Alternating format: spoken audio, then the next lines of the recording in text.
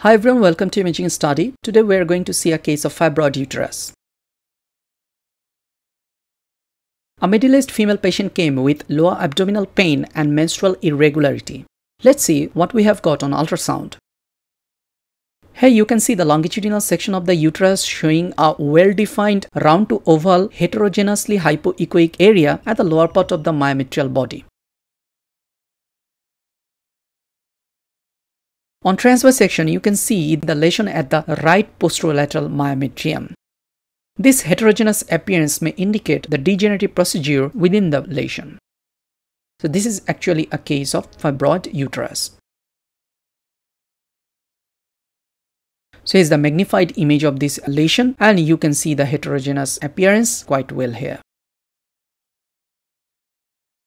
There is a thin hyperechogenic margin of this lesion you can see here this indicates the pseudocapsule of the fibroid, which is actually signed to confirm this lesion as a fibroid.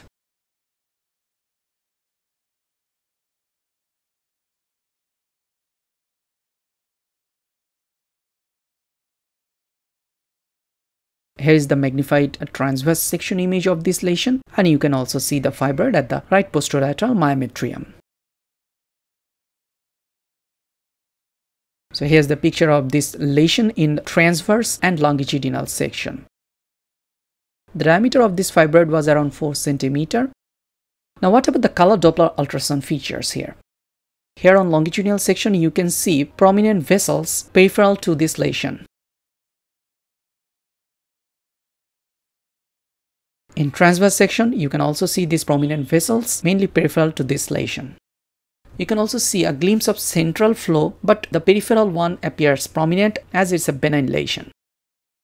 Now here's the Doppler picture in transverse and longitudinal section showing prominent peripheral and some tiny central vessels. We want to take sample from this prominent artery. We have taken a spectrum from this peripheral prominent artery.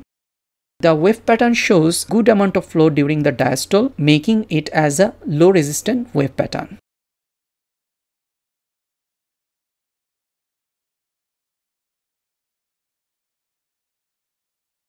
We have measured the resistive index and it was 0.54.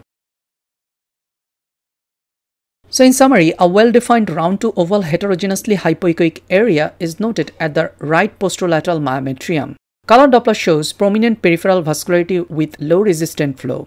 The resistive index of a prominent supplying artery measures 0.54. Now the take-home message.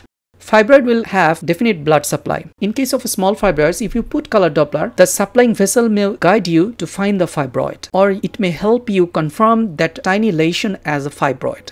The fibroid will have a pseudocapsule. So if you check carefully, you can find non-continuous hyperechogenic thin margin of the fibroid indicating that pseudocapsule. It may help you differentiate fibroid from other differential diagnosis like adenomyosis.